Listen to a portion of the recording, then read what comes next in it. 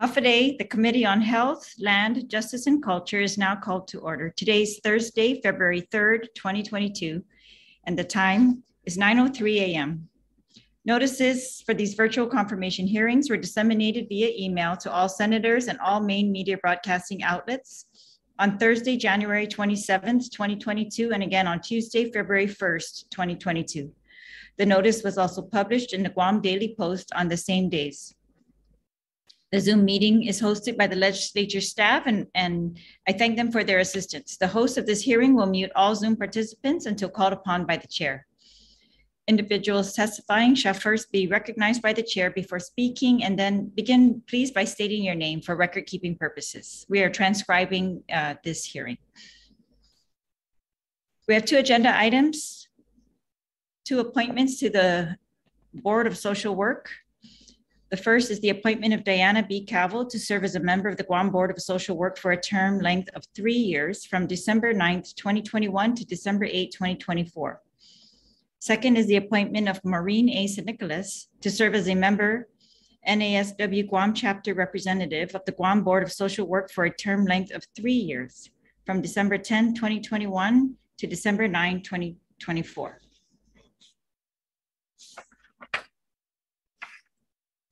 I'd like to acknowledge the presence of my colleagues this morning, uh, our Legislative Secretary, Senator Amanda Shelton. And we also here with us, Senator Telo Taitague. Thank you very much, colleagues, for being with us today.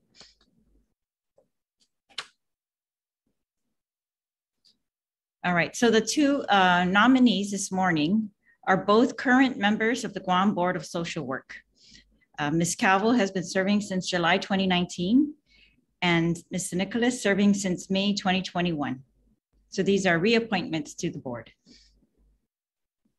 Before we hear from the panel, I'd first like to read just some of the duties and the mandates in the Guam Code relative to the Guam Board of Social Work. They include that the board is responsible for the licensing by examination or by licensure transfer of applicants who are qualified to engage in the practice of social work, the renewal of licenses, the establishment and enforcement of compliance with professional standards, conduct of social workers engaged in the practice of social work and consistent with the National Association of Social Workers Code of Ethics. The enforcement of the Guam Social Work Act relating to the conduct or competence of social workers practicing in this territory, investigation of any activities related to the practice of unauthorized practice of social work, and the suspension, revocation, or restriction of licenses to engage in the practice of social work. With probable cause that an applicant or licensee has engaged in conduct prohibited by this act or a statute or rule enforced by the board, the board may issue an order directing the applicant or licensee to submit to a mental or physical examination or chemical dependency evaluation. For the purpose of this section, every applicant or licensee is considered to have consented to submit to a mental or physical examination or chemical dependency evaluation when ordered to do so in writing by the board. Objections to the admissibility of that evidence. The board is also responsible for other things, especially the administration of, um, of the licensing and, and um, evaluation of non-social work degree holders who submit a written request for exception from the requirements of social work licensure.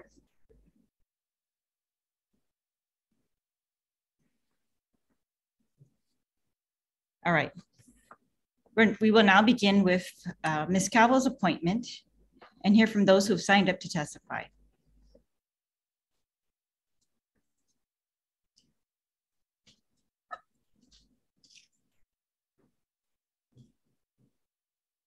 So we begin with the chair, the current chairperson of the Guam Board of Social Work, Angelina Lape. Hi, thank you for having me. Um, Diana has uh, been on, on the board, as the speaker mentioned, for a couple years now um, to fill the unexpired term of a previous member.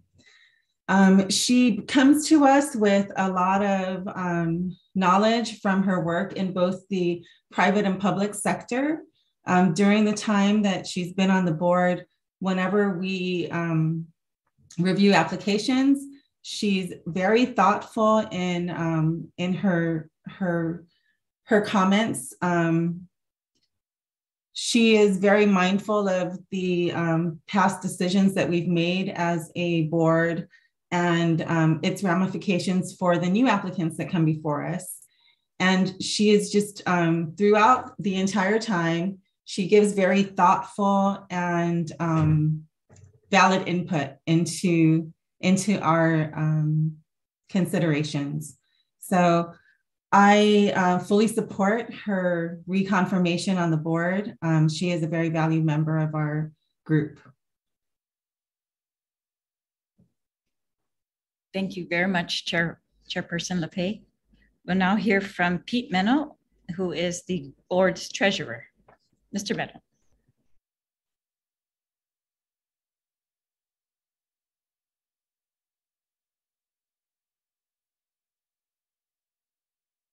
Mr. Meno, uh, I can't hear you right now. You could unmute.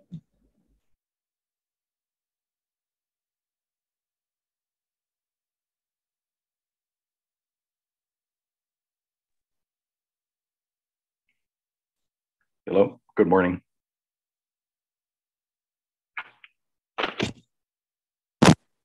That's clear. Thank you very much. Please proceed.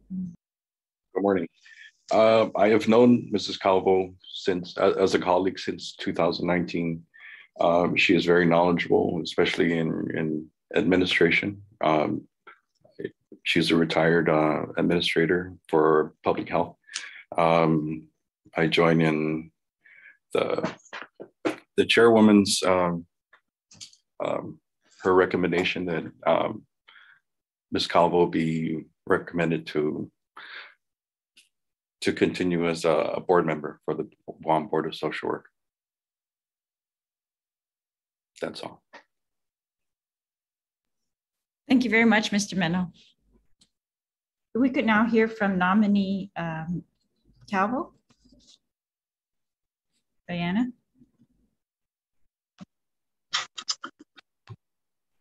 Good morning, Speaker and Senators. Half a day. My name is Diana Baletu Calvo. I am currently a board member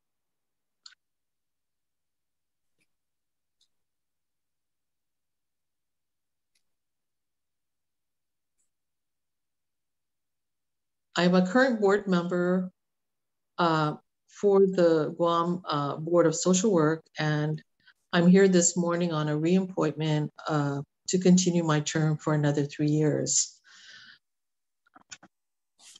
Um, being a member of the board has really been an opportunity for me to look at the, the details of, of the profession as well as to really have a good um, insight onto the uh, individuals that are that are or have pursued a profession in the field of social work, the backgrounds that they bring to the profession, and some of the the, inf- the information and resources that also lend the board members to have further discussions about how to continue to improve the work and to support our workforce. Uh, it's been, um,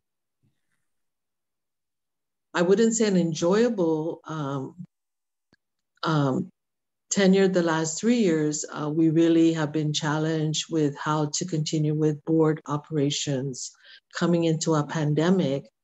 Uh, but I think that once we figured out you know, the technology part of it and came out with all the different compliance, we were able to resume our work so that we are not also hindering individuals that require the license in order for them to perform their work.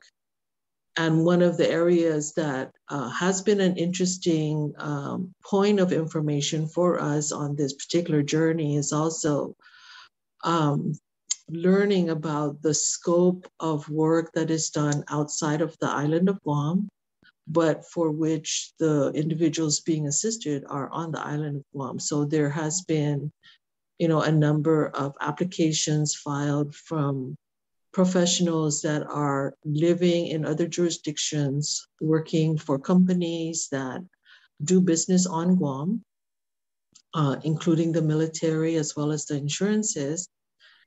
And so that then requires the board members to really broaden the scope of all of what is needed to be considered as we finalize our rules and regulations and then uh, build on that to really support our professional uh, licensees.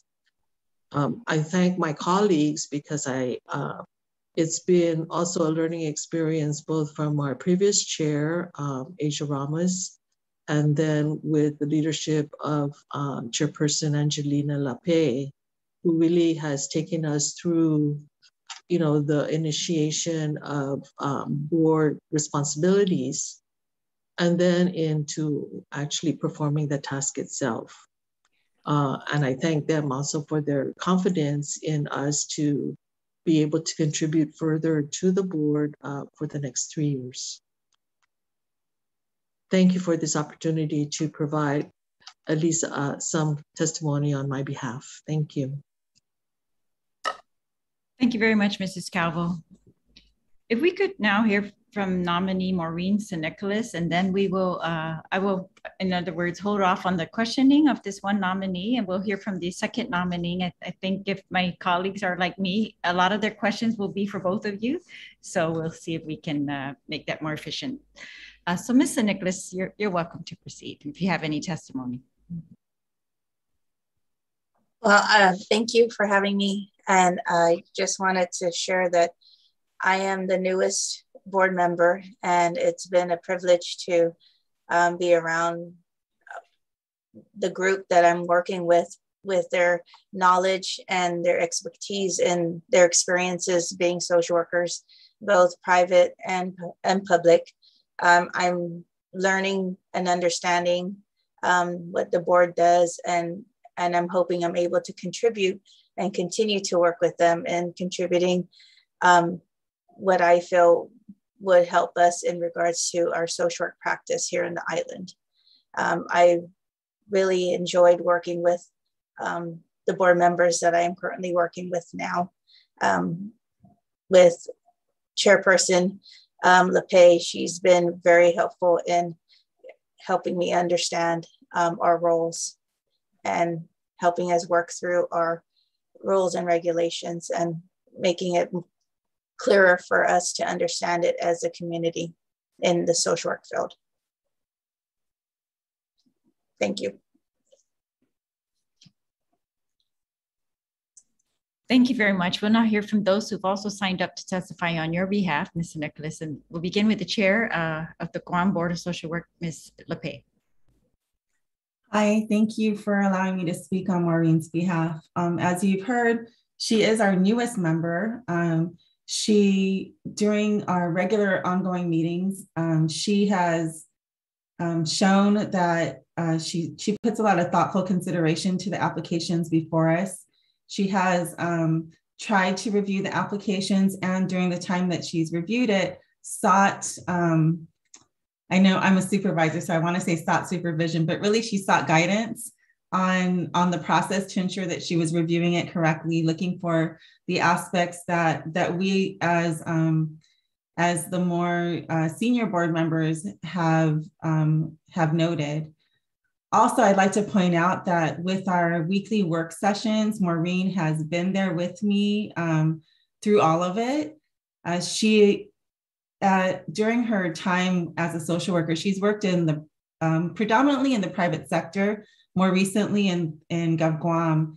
And she has a lot of um, experience as a frontline worker and advocate that she uh, brings to the table. So as we consider the rules and regs and the different aspects, we spend a lot of time um, really talking about what that would mean for um, the, our social workers um, and, and how we can better hold people accountable for the work that we're doing for the public. Um, so I would like to say that her contributions to our work sessions have been very valuable for me um, and that she has been um, key in getting us to where we're at right now with it.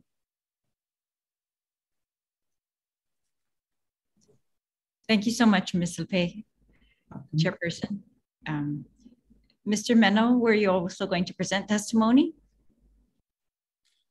Um, maybe just a, a brief one. Um, I've known um, my colleague, uh, board member, uh, Nicolas, both professionally and, and personally. Uh, she brings with her also knowledge of, of uh, some of the, like how the, the, um, the law was, was, was brought up. But I, I think she, she told a story of um, how uh, some specific parts of the law were, were, were about a certain situation. And, and she kind of clarified that for us.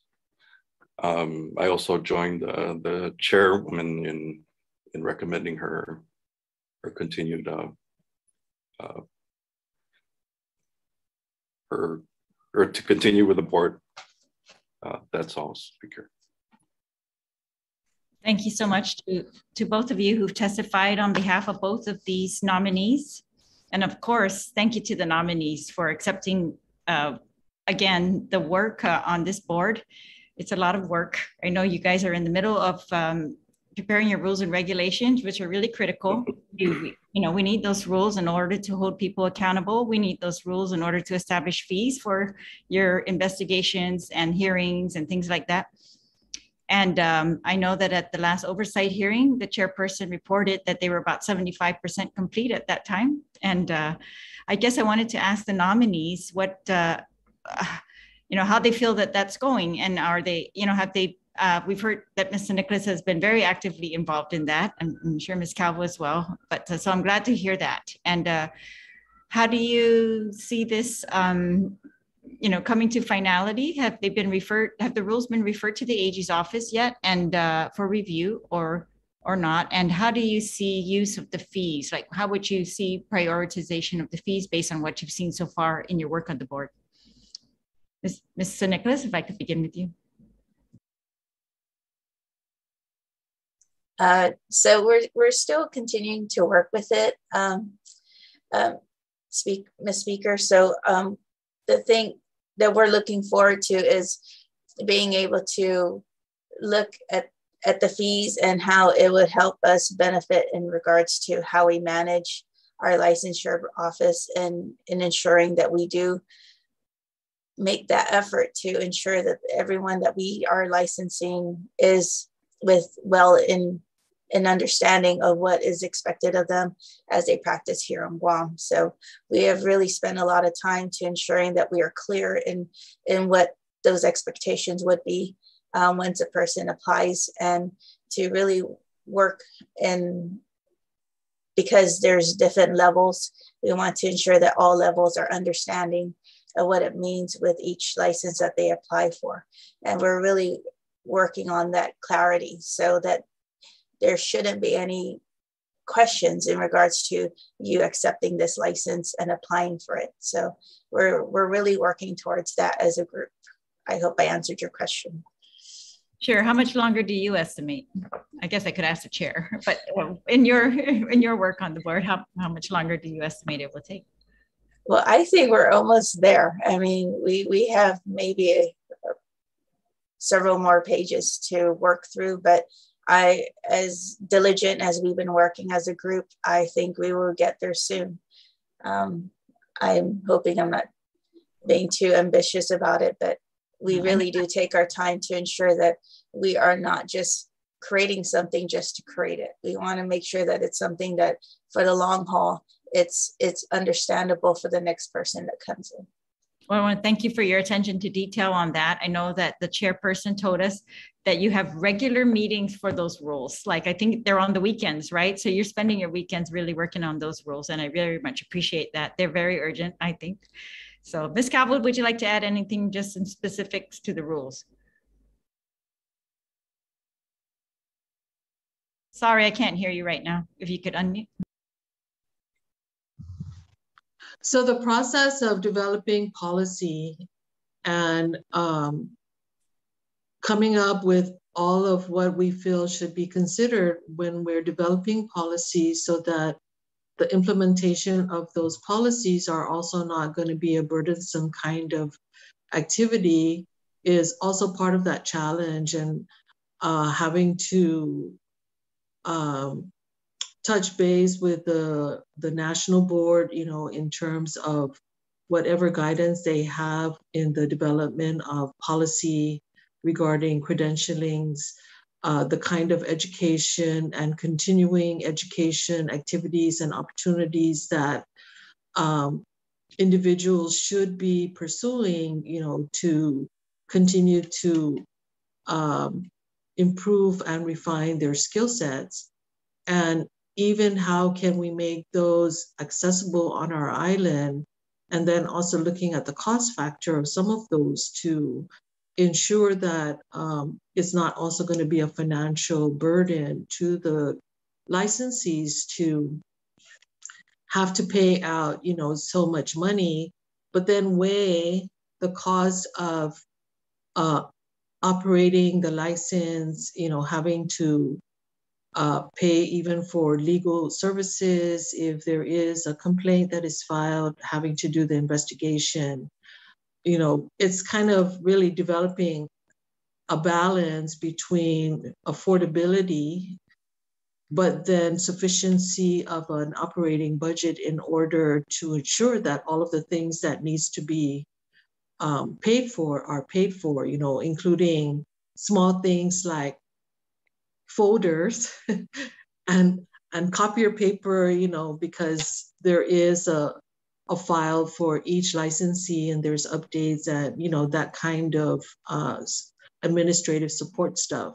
And when we are comparing um, what the fees are on island and to other jurisdictions that may be similar to guam you know and weighing it's sometimes it's difficult to gauge what would be the most affordable yet uh, sufficient amount of cost you know, to consider. And that's, I think, the other part of um, the equation is, you know, how much would it take to implement the policies and the procedures that have been developed and to be able to maintain it on a regular basis and to update it when there are updates to the field. All right, thank you for that. And I, you know, I I want to note from your testimony that uh, you you know, you pointed out what I, I'm very glad to hear that, you know, your focus is also on the, the big picture of the profession itself, right? And, and the support of professionals in the field.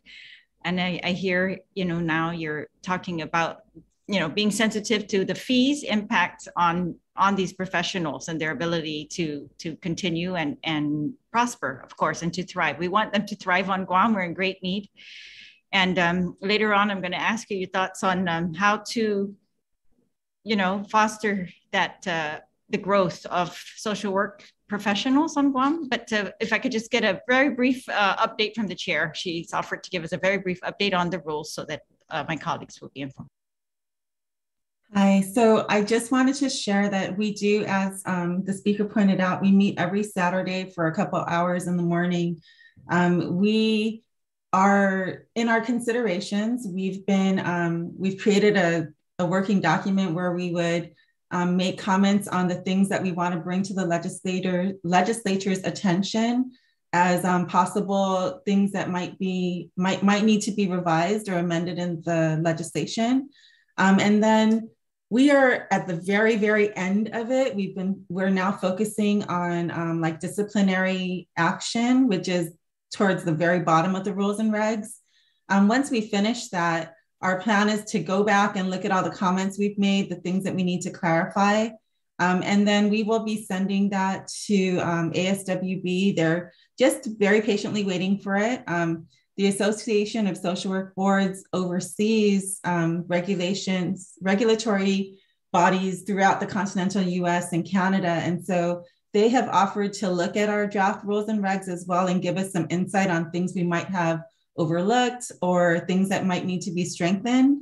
Um, and, and so once that's done, then we will um, forward it to the AG's office. But I want to say that we are just at the very cusp of the, the end of that review. And so um, I think that with our concentrated efforts, we should be able to uh, transmit that to the AG within the next few months. And as far as the fees, um, Pete, as our treasurer, has been attending the ongoing meetings with HPLO as they are reviewing the budgets and things like that. Um, we have also reached out to NASW to kind of find out what the ballpark number of um, members they have, understanding that not all social workers are members of NASW Guam, but to kind of give us a gauge of how many people we're looking at um, as we plan our budget, right? We want to see how many people potentially are like would be licensed out there, what kind of fees would be realistic, as Diana has pointed out, um, and come up with a, a good budget that'll take us through to um, you know the next decade or so until it takes so long to update uh, fees that we want to be mindful of um, you know getting something that would give us a good working budget. All right. Well, I appreciate that. So it's February now, for March, April. I'm hoping by April, yeah, we will be seeing those here in the legislature. Yes. Once they're sent to the AG, if you could please inform me because I'd like to just keep track of that, how quickly they can be reviewed. I think it's very mm-hmm. urgent. It's really very urgent. We can't have a licensing board that doesn't have right. place. Okay, so I want to thank you both again for your work uh, on on the rules themselves, and uh, just reiterate my my you know concern that those are urgent. Yes. Um, I'm going to ask both of you, do you have any continuing businesses or other interests that may present a conflict to your ability to, perform, to perform your duties as a board member? Ms. Calvo? No, I do not. Ms. Nicolas? No, I don't. All right, thank you. And does either of you have any um, challenge in meeting the meeting commitments or, or the time commitment that's required of this board? Ms. Calvo? No, I don't. All right. No, I don't. Okay, Mr. Nicolas? I have none so far. You've so so I, far. I am actually yes. it's reverse. You've you've both been able to attend the meetings, give yes. you thoughts into what's been discussed. So I want to thank you for that. Yes. Okay, thank you. Okay. Um, you know so social workers for me of course they're the big uh, they're in the business of ch- change right? Changing people's lives changing our island uh, how we are doing things as well. They've been the big advocates for these social changes that are required and, and policy changes that are required. So i want to note i'm looking forward to the policy changes that you might be recommending. I have not received any so far at, at least this year yeah I, or this term. And so I am looking forward to that. And uh, and you know, we've discussed uh, again the big picture. I think I've, um, I'm hoping all of you, well, you, miss Nicolas from Public Health, right, and you, Ms. Calvo, and the work that you do at Catholic Social Services, you're seeing on a daily basis. You guys are on the front lines. You are seeing the need that's out there, the need we have to address, the need for social workers and to help us to address those, and also the shortage of social workers that we are having, right? So we've tried. Um, you know, um, to help expand that by by uh, increasing the ability of uh, the different agencies to hire retired social workers. I know there's some excellent ones who have, you know, um, agreed to come and help, especially CPS and other agencies. But uh, so we continue to authorize that. We've um, tried to, you know, uh, urge UOG to focus the scholarships again on social workers, right? And uh, so that that track is um, um, you know, advertise and really uh, shown that this is, uh, and that the jobs, the track from UOG scholarship or, you know, training or education, all the way through to the, the vacancies that we have right now for social workers, that there's, there's a job track there, right? And uh, hoping to try to do other things that are necessary to, to improve our ability to recruit and retain social workers um, across the island. You know, I, I wanted to ask, um, you know, Dr. Hattori was on K57 reporting about the homeless coalition's count and it, uh, and they she was uh, reporting some that Hagåtña numbers for street homeless were much lower this year, and that when they went to substandard house areas, it was uh, very difficult for her to take in. She said she knew COVID affected people, but they weren't prepared for that. Seeing the kids sleeping under the canopy, people asking for diapers, and um, I think she even mentioned that there were, you know, a lot more elderly people in living in substandard conditions this year as well that they were able to assess. You know, and this doesn't, it's not just on Guam, but I just wanted to know if, if, you know, what role either of you or both of you think that the board can play in, um, in, uh, I guess, yeah, not just policies for the social workers licensing, but policies for, you know, the government of Guam because of your frontline work. If, if you, you know, can organize uh, your members or your licensees to, you know, um, like, like the, the National Association of Social Work often does, right? They, they, uh, they highlight uh, policies that they think will change lives. And I just want to urge you to do the same. That if you as board members, you know, find policies that you think can help us to make quicker changes as to you know the effects of of uh, people like this like uh, what you're seeing out there on the front lines that, that you please do that send them to us here and i don't know if you, any of you would like to comment on that those types of things right now you know what what what would you um, if you have any recommendations right now right as to or just from your work on the board or, your work uh, in in your jobs as to uh, what impact this is having on you as a social worker and on other social workers. Mr. Nicolas, would you like to begin? Uh, in actuality, uh, Ms. Speaker, I, I don't think you may have enough time. Uh, when social workers get started on trying to make change, it, it tends to take a long time for us to discuss it. But I think first and foremost would be um, a cohesion of services. Um, if we could just get all social work services and agencies to kind of collaborate with one another to try and address the different issues in each different agency, because they kind of all affect one another to some extent. And if we have this cohesion and this workability amongst each other and not where we divide and say that's your program, that's your program. We need to collaboratively be collaborative in regards to how we meet together, every agency to discuss their concerns and maybe come up with a an island-wide plan uh, where we can all chip in to try and work towards a goal. And if the goal is to understand homelessness on the island, I think it should encompass everyone, not just a coalition to just do the counting to incorporate everyone else involved. And it can start from every agency. And then from there, have them develop, you know, how they can do their part in addressing the concern. And that's a short answer. Thank you. Thank you, and thank you for setting me straight about the time. I totally, I, I believe you that uh, if if yeah we we could dedicate huge amounts of time to to understanding these issues and and and pinpointing how to move forward. So thank you and i'm going to take you up on that by the way. And so mrs Calvo, if you could. So it um as maureen was speaking i was trying to compare um, the time the the age difference because when i came into the field, if you will, you know, in the late 70s, early 80s, um, I came into a department that focused a lot on um, community, direct community response. So we had a lot of people that were out in the field. We had nurses that were out in the field, social workers that were out in the field, even individuals who would be going out for things like, you know, um,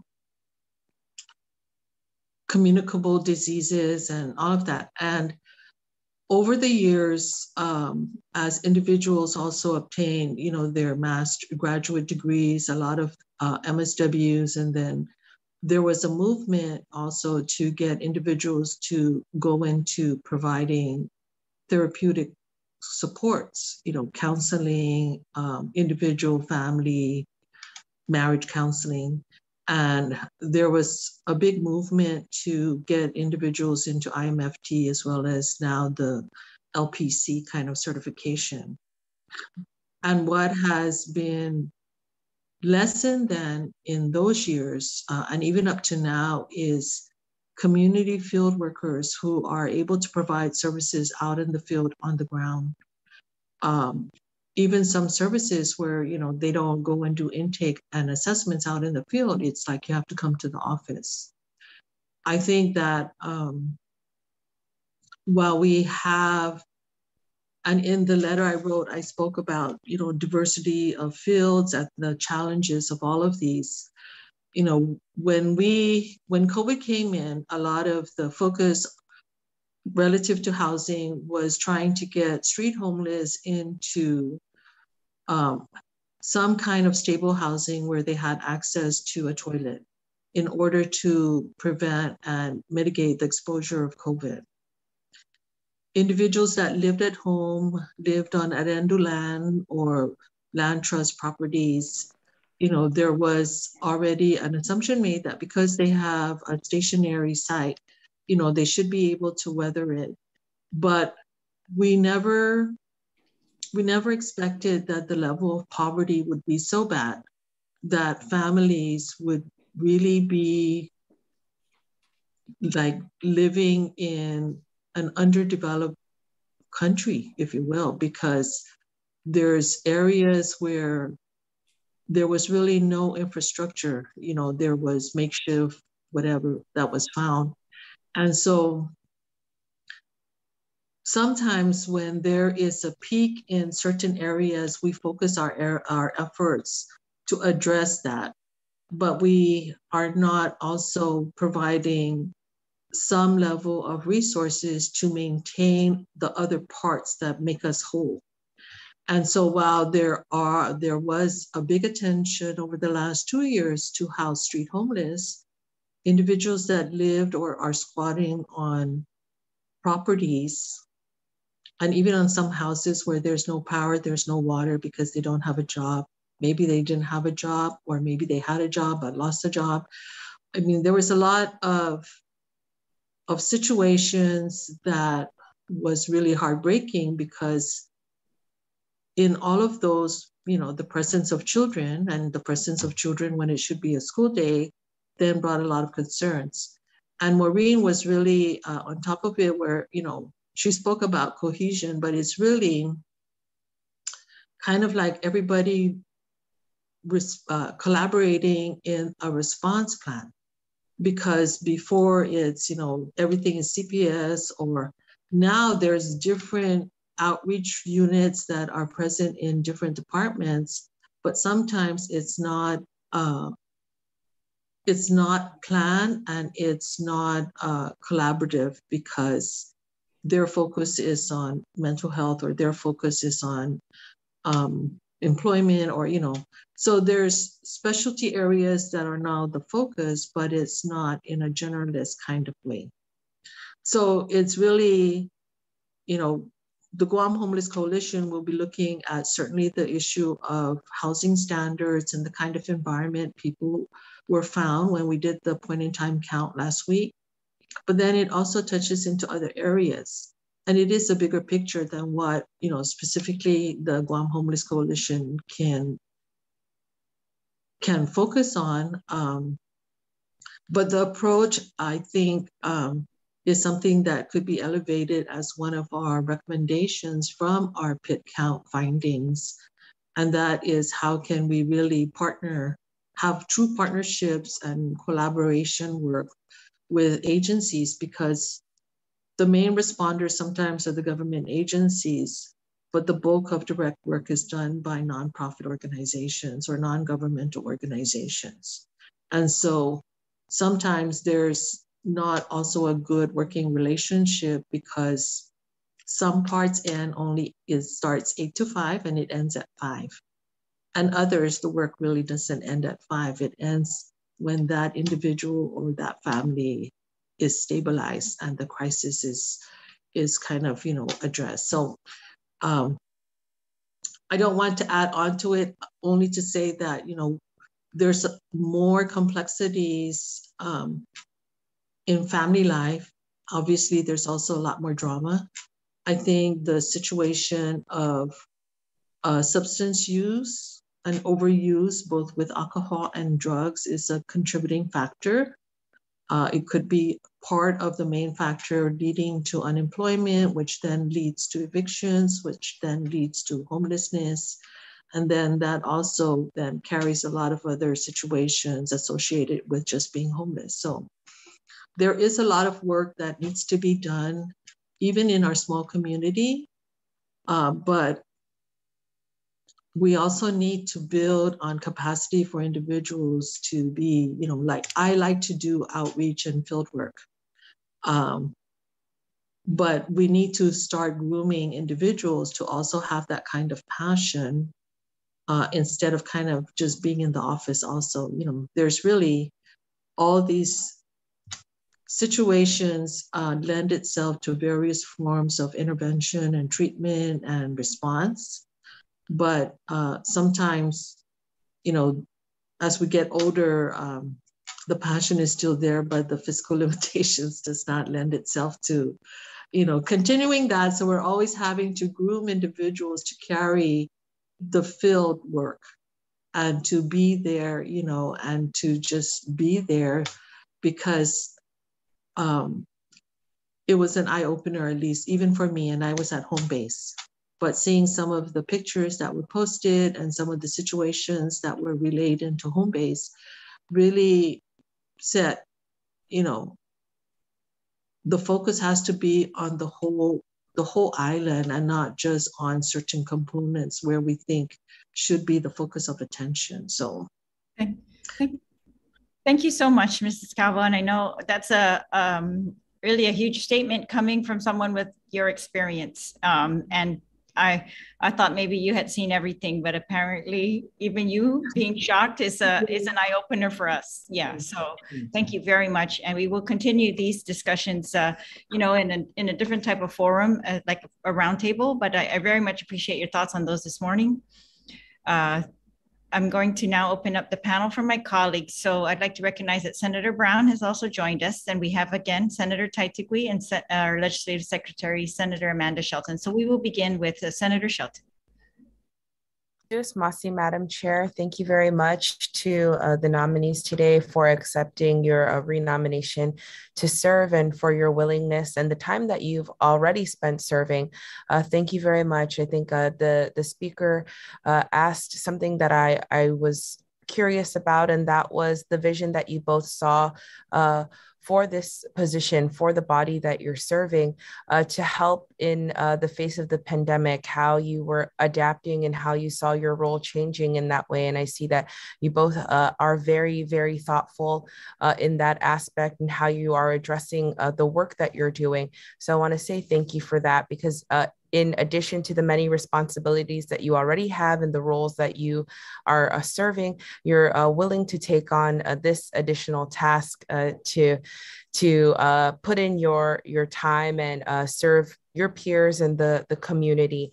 And I appreciate the advocacy that you are doing for those who are most vulnerable, uh, but also your colleagues uh, to help uh, to elevate the profession, to ensure that you are uh, giving the support that is needed for you to continue the good work that you're doing. And we know um, how essential social workers are. As the speaker said, you are on the front line addressing uh, these, these issues every day for us and bringing the information to us to help us understand the real, real need in our community, the suffering that our people are facing, and to hear these stories just from uh, a couple of days ago. The point in time count um, is again uh, uh, bringing the reality home for us that uh, action is needed, that uh, the collaboration that you're both discussing uh, of taking a holistic approach uh, for everyone in the community, not just for you, the social workers, to address the problem for all, but for all of us to uh, work together. And uh, I appreciate that view that you shared with us today. And I, I look forward to uh, voting in support of both of you in our next session. Thank you very much. Thank you, Senator. Thank you, Senator Shelton. Senator Taitague. Sidus Masi, Madam Speaker, and uh, thank you so much for asking all those other questions, especially regards to the rules and regs.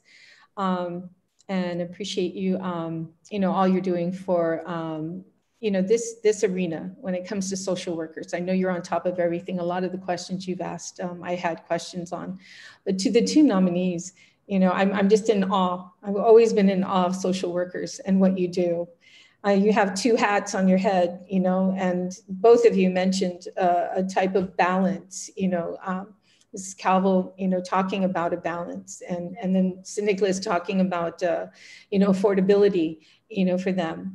Um, I just did, I, I, have one question with the, the chairperson though, with regards to the rules and regulations and uh, as well as the two of you, but um, you're seeking the Attorney General's uh, assistance after all these rules and regulations are put in place. Um, are you actually seeking their guidance while you're preparing these rules and regulations uh, to guide you through? So a lot of the, uh, any kind of mistakes that are made prior to going there um, are they helping you, assisting you every Saturday, by the way, on top of the other workload that you have coming in on Saturdays is amazing. So uh, Rob Weinberg is the AG who's uh, working directly with the board. He was initially attending our um, Saturday work sessions. However, I asked him not to attend it and told him that we would reach out to him as we need him um, because um, we wanted to really get through um, from the social work perspective first and then have him kind of look at it from the other aspect of it and it was just it, our sessions were more productive when we did it that way however um, we are working through a google doc because we're doing this stuff remotely on zoom and so um, mr weinberg has access to that and he reviews it and if he notices anything he brings it to our attention for us to discuss at the next work session. So we do have a collaboration with him.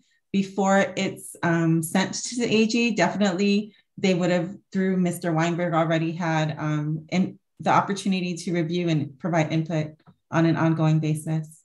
Well, that's good to hear. And, and it's also good to hear, Ms. Nicolas, that uh, you have a passion for law because for you to do the research, you know, so technically, Madam Chair, you do have a, another someone in, into the law, you know, looking, crossing the T's and dotting the I's. So I thank you so much, uh, Mr. Nicolas, for that and, and looking in those areas because uh, we definitely don't want to get derailed on providing something as important as the rules and regs. Uh, so thank you so much. And Mrs. Calvo, when, when you brought up um, continued education, that was first and foremost, you know, the assistance of other social workers are so important. I mean, just the, their state of mind, you know, and, and the work they do every day, it, it's taxing on social workers. And I, I know that it's not just continued education, but uh, guidance and counseling for social workers are just as important. But I'm glad you brought up continued education and to incorporate that because that's very important to me as well um, as you know you move forward. And on this board, I'm, I'm sure you're going to um, continue uh, providing that assistance to the other social workers. But other than that, everything um, else has been said. But I just wanted to, to thank you. Thank you both for inspiring, you know, those around you and uh, for making the world a better place. Thank you so much. Thank you, Senator Telo. Thank you, Senator Taitague. Senator Thank Brown. You. Thank you very much, Madam Speaker. I just wanted to ask, and certainly appreciate, I think there's no doubt we appreciate the work that, that both of you do. And certainly, Mrs. Calvo, you've been involved many years in, in, in social work and, and certainly in your current capacity that you've been doing for quite a number of years. You're very much been very active in, in supporting our community with, with some of the challenges that our people are dealing with. But I wanted to get your feedback. What, what do you think is a growing uh, issue? I mean, before, you know, a lot of these issues were dealt with in the family, and the family support network was there to help other family members that, that may have had challenges. Uh, but now we, you know, we continue to see that there's a lot of people falling through the system. And I don't necessarily know, is it, it families that are established here, people that are moving to the island? I mean, homelessness is one example of that, but you know, you see other issues with, uh, certainly with regards to children that are falling through the cracks in our system. What, what do you what do you see? And it might not just be one one particular issue, but what, what do you see that to be as a growing problem? That our people um, just don't have the skill set to be able to manage themselves, their lives, sometimes taking care of their dependents what what, what do you see over the years because you've been you know you've been boots to the ground literally so to speak with regards to these issues in our community um, and i think it's you know we're appreciative of all the work that you do but i see the problems continue to grow and get get bigger out there uh, and then I, I, also have a different view. I, I, don't think government can and should be the net, you know, the net for ed- anybody and everything because I don't. The government is not a parent. We're not a, you know, a moving body that can can reach out in the same way that uh, others can that are out there in the family structure and the community to support our other residents. I wanted to get your thoughts on that because I, I, don't see the problems going away. I see them getting bigger. So I want to get your thoughts and also for Ms. San Nicolas, if you, she could give me some of her, her feedback with regards to that. Thank you. So um, thank, thank you. Um, so from my, from my government career and then coming over uh, into um, social services, you know, really on the nonprofit side, um, I can say that, you know, when I was in GovGuam and we were working with families, we also would refer them to agencies like Catholic Social Service, Sanctuary, um, Salvation Army, because in addition to providing some of the direct benefits of assistance, they also had case management services which were not tied into an eight to five, Monday to Friday kind of timeline. Um, but we we have been really looking at you know so if we're focusing on the the social issue of homelessness and looking at what are the root causes that keeps a person homeless or that prevents them from maintaining any kind of stable housing uh, what we're finding is that there are two major factors. One is we we feel, and I personally feel that we have individuals who may be suffering from some kind of undiagnosed mental illness, including depression. And because they're not being seen and they refuse to be seen, to be evaluated, you know, they are functioning at where they're functioning. And sometimes it's not enough to sustain uh, employment. Um, we, we recognize that it's actually easy to get a job. The challenge is in keeping that job. And while there are a lot of barriers that is not related to the human person, you know, no car, no money for mass transit. Sometimes there's challenges with mass transit.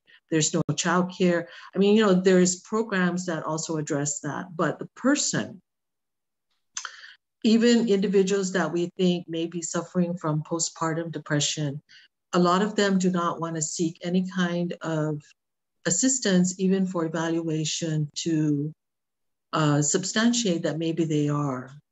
Um, and then the use of alcohol and even drugs to uh, as a means for addressing their stress. Uh, and we've seen that not only in individuals that are at levels of poverty, but we've also seen that with individuals who were in a career, who were working, had a profession, for whatever reason, there was an experimenting of the use of particularly drugs.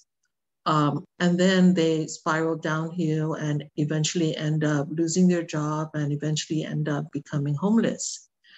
And it's not an easy fix, if you will, to even go through substance treatment because that's the easy part of it. The aftercare is the harder part of it. and we don't necessarily have extended resources to check in on people, see how they're doing, provide whatever supports they need. You know, we've always discussed that crisis does not happen between eight to five. So the government really is not responsive. I mean, that would be my own personal opinion. Even when I was at GovGuam, just because the structure of a gov- government bureaucracy doesn't lend itself to be as flexible and as open to be able to deal with people at the time they're experiencing that crisis. And if then, you know, we, a person is in that kind of situation for six months, for a year, for, you know, then they become so apathetic um, that they have no sense of, of hope, really and then accept the kind of circumstances that they're in. And so, you know, when we're going out there, uh, and even with the Homeless Coalition in our focus of homelessness, if people don't want to follow rules and they want to be on their own, then we let them be on their own until they're ready. It's the same thing, you know, people will not change unless they want to initiate that change. But we still need to keep tabs with them we need to continue the communication and the interaction so that they can also trust us. And um, even, you know, and we, we, ha- and just to share, you know, we, at CSS, we really look at some of the profiles of our individuals because we deal with chronic uh, individuals who have chronic um, behaviors, including being chronically homeless.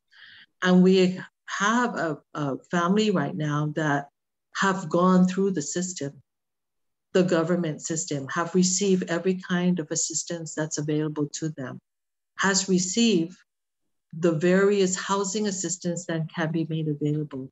And they are homeless now. And so that's the again the beginning of another discussion what do we need to do to keep people in stable housing?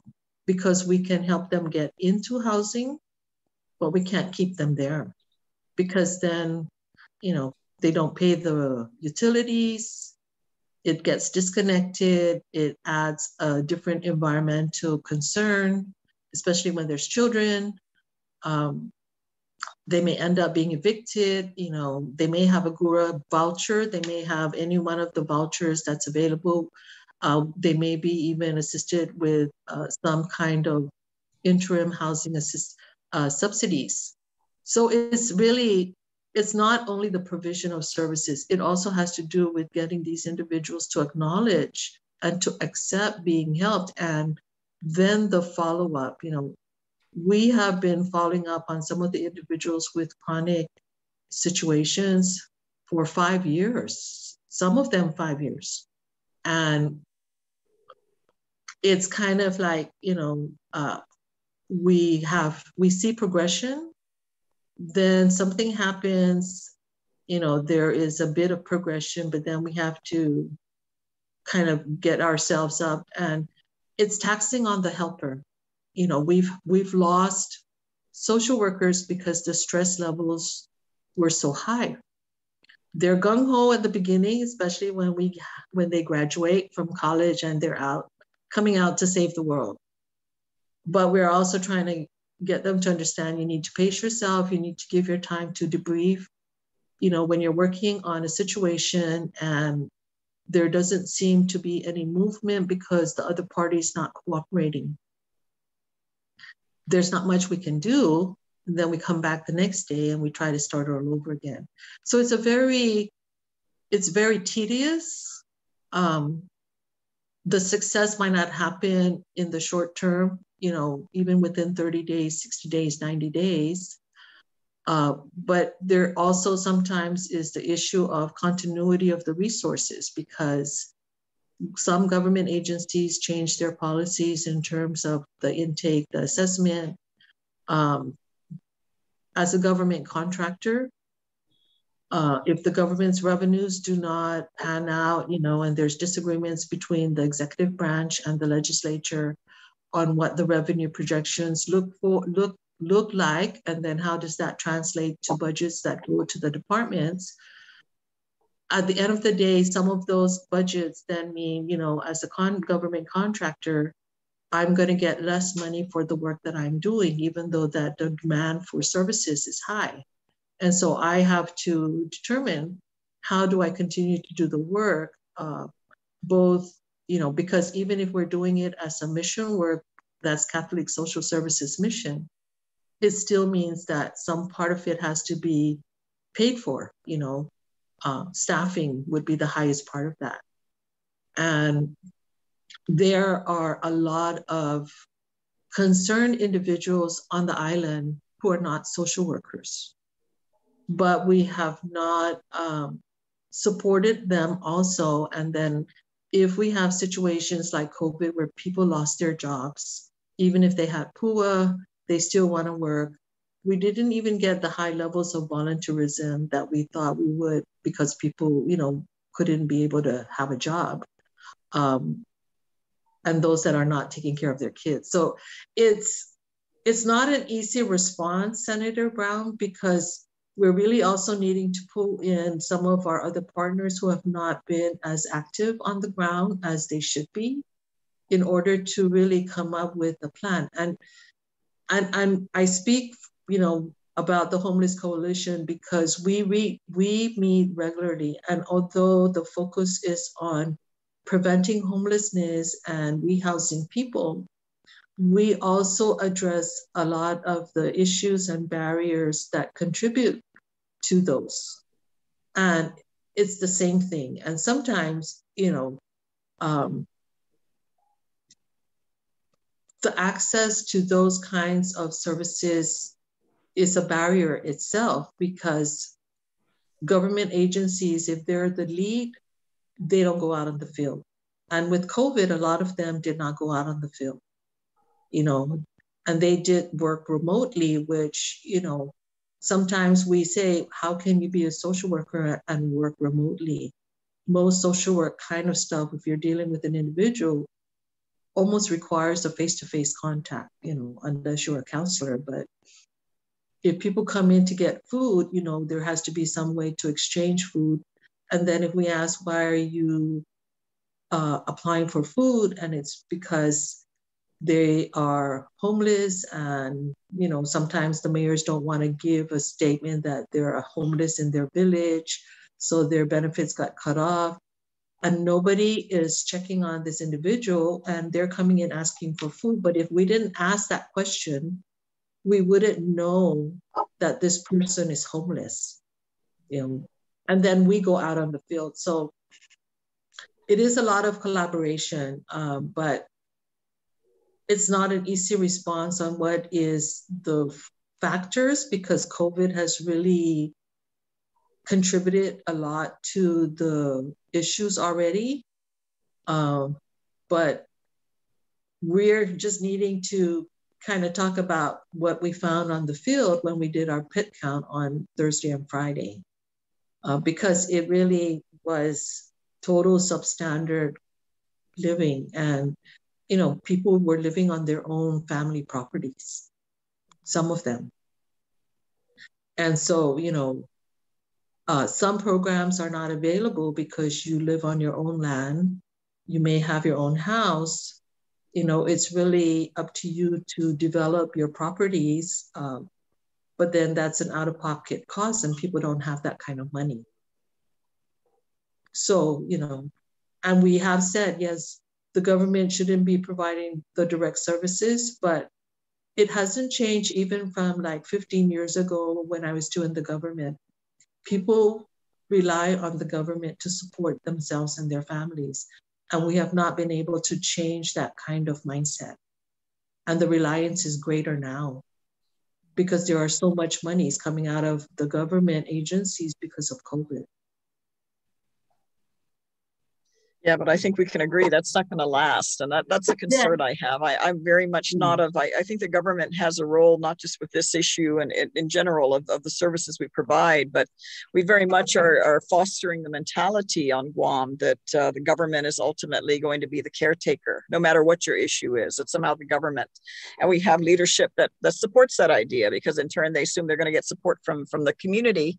And yet I think we're, we're, we're not strengthening the community to and I, I, know every eh, situation can be individual but collectively we're really not you know supporting or fostering the idea of wanting people to be contributing members to society. We're very much let's go to the fiesta and i'm gonna i'm gonna take everything on the table and that's that's the way it is. I'm not contributing back to that.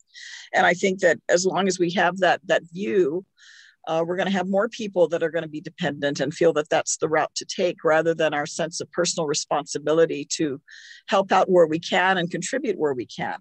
I, I, we recognize there are those with mental illnesses. There are obviously the elderly, there are children that are underage, of course, that need our support. But when I see grown adults not taking that initiative and they have the expectation of the system that's set up to provide this sort of safety net. If it's there, then why do I need to go out and work or, or help? And I, I, I think the people that are carrying the load are getting tired.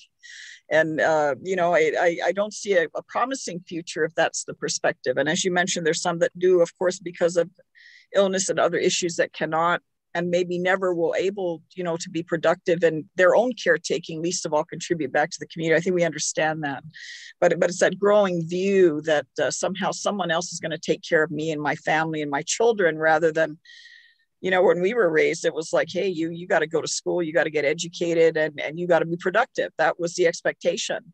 And i don't see that and that that concerns me because i don't see that it's leading us as a community down a good road a healthy road and a promising future when we expect the government which like i said it's not a person it's not a it's not a caring person with arms and legs and a heart that's going to be able to coddle you. Uh, you know there are limits to what the government can do. And as you mentioned sometimes when revenues are short then all of a sudden the, what we owe catholic social services is behind how many payments right? And you guys have your own personnel and obligations to take care of uh, and that that's where the concern is. I, I, I appreciate all the work that all of you do, especially you, Diane, because you've been doing it in, in different forms in the government and now in your role in Catholic Social Services for many, many, many years.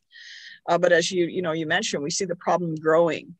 And I don't know what the ultimate solution is, but I think we need, even as leaders, to change our perspective and how we coddle some of these issues and not encourage people to be responsible where they can be in contributing. Because we all have stress. I mean, we're probably all can be a step away from mental illness and and financial disaster just by making a few wrong turns. Anybody can do that. And, and everybody has pressure, family, work, uh, health, you know, illness issues. I mean, we all carry our, our own load, right? And some of the loads of some of us are heavier, especially for other family members that have health, you know, pending health issues.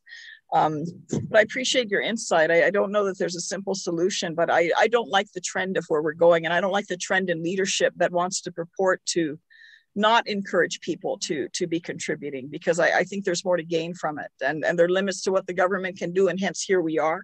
And i hate to see young people coming up with that value system that somehow the government's going to take care of me uh, because I, I, think that's a losing proposition down the road. I appreciate your your insight on that. I wanted to ask mr Nicolas a very similar question. I know you're a little younger in the process but uh, what are your thoughts with your experience to where we're at and where can we set a better leadership direction? Because i you know, before the families used to, I mean, when I grew up, we didn't have cell phones, but I, I mean, if I went on the, down the street, uh, a relative neighbor, you know, my parents heard about it before I got home. We had that kind of safety net and network within our own communities.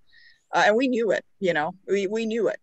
Nowadays, a lot of young people don't have that. And a lot of adults that are their parents don't that sense of responsibility sometimes for their own children to want to be make sure their children are provided and taken care of. They expect to be taken care of themselves as grown adults. So i want to get your thoughts on on that and your experience.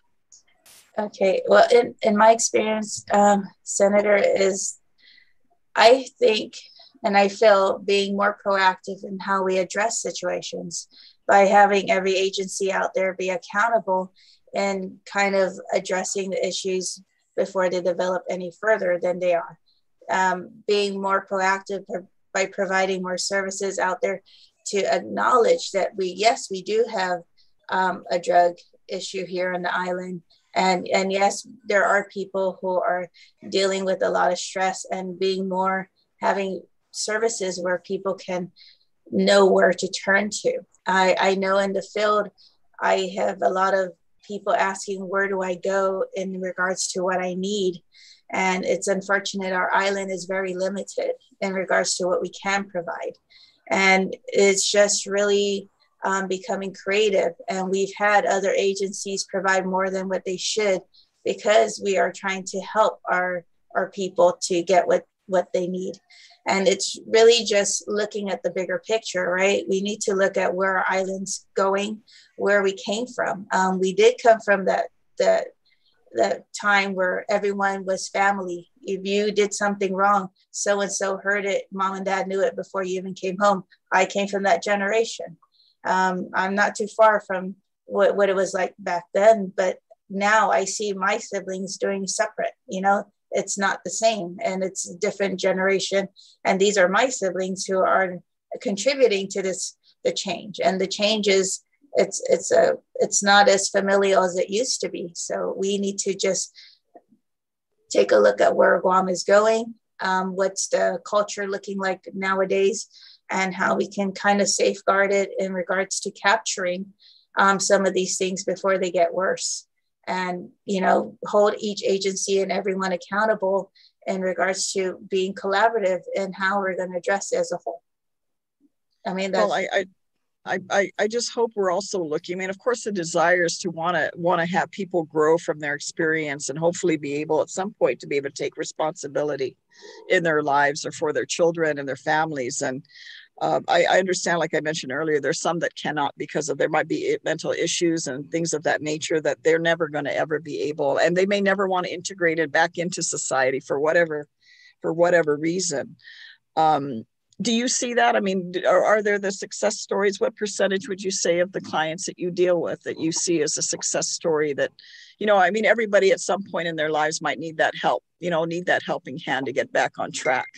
Uh, but some I see, and you know, I, I've also, like you, grown up in a time where I see people becoming more and more dependent on social welfare.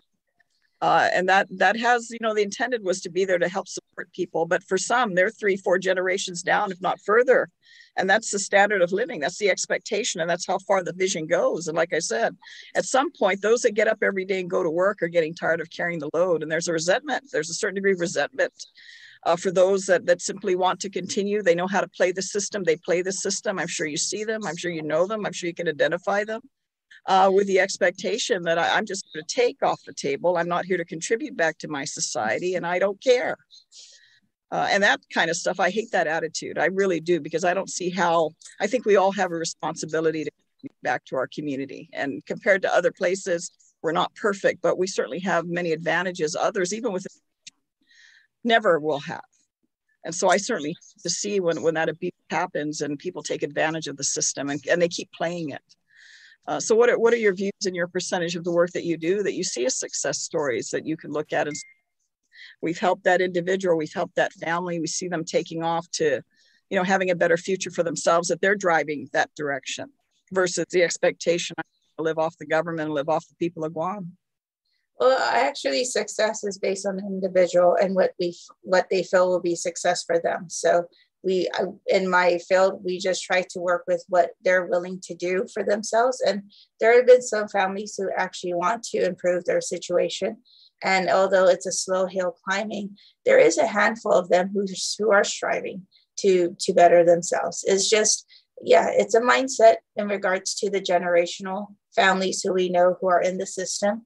But again, that's a mindset that has been uh, taught from generation to generation, which until we can reach out to the one person in the family to want to make that change, um, change has to start with the individual themselves. So as agencies and as workers, we can only try and work with them to their best ability to want to make that change. And, and that's something we're going to have to deal with. It's a it's happens all over.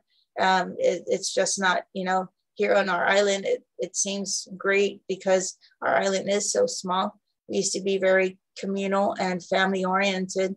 That you know we're seeing the change in culture. So uh, we're being very diverse in how the people are raising children and and the different cultures. So it's really trying to work with these individuals to try and strive for their change and, you know, hoping they can see it. Well, I, I, certainly appreciate your insight and your interest and want to continue for both of you and Mrs. Calvo to want to continue to do the work. I, I just think, you know, what, you know, here we are at the legislature making laws left and right, and yet I think the foundation of our community uh, where the need is greatest. I'm not, not all of this can be fixed by the government. And I think that that's a wrong expectation or vision to have. And certainly maybe as we look at policy, that's something we have to look at. I know in my previous life in the legislature where we were looking at setting incremental requirements of, of, you know, people can only be dependent on the government system for so long. And then after so many years, there was an expectation that, you know, we were going to filter you out and, and you'd be able to stand on your own. And there was such a big kickback to that, such resistance uh, because people wanted to, hey, you know, I, I I like it the way it is. I don't want to change it. I want my, they referred to their, you know, if it was, if it was welfare, it was their check. That was their check. And I'm thinking, okay.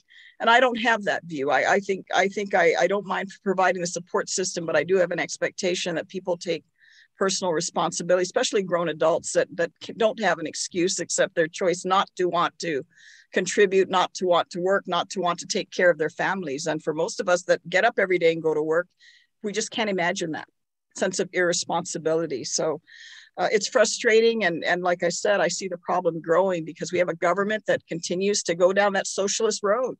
And sometimes I think to our own detriment, we think we're helping, but we're harming more um, because instead of having that sense of personal responsibility and that expectation that if you don't perform, there's consequence to it, we continue to support the behavior that, that contributes to not a very productive community. And, and we're continuing to see the problems with the drug issues, the problems with our young children that are not, uh, you know, they're not either for school or they're not prepared, you know, to take on life as an adult because they, they just haven't, uh, you know, been going to school with some consistency or had a, a guiding hand or a parent that actually was there that actually cared. And we hate to say that and think that because you can't imagine a parent that's not responsible or caring for their child. And yet that's a reality I'm sure you guys see you know, in the work that you do every day. And it, it's amazing. I, it's, I'm dumbfounded. I mean, even if it was somebody else's child I was taking care of, I couldn't want to take care of them any less because they're, they're a child that needs support, needs guidance, needs a sense of, you know, self-worth and self-esteem. And you see how so many of our young people are falling through the cracks and, and the cycle as we see continues on and on. But I don't want to belabor it any further. I appreciate the insight of both of you and the work that you continue to do, and certainly will be supportive of your renomination back to the board. Thank you for, for the work that you do. With that, I, I conclude, uh, Senator Taitague, my, my questions and comments. Thank you for the opportunity.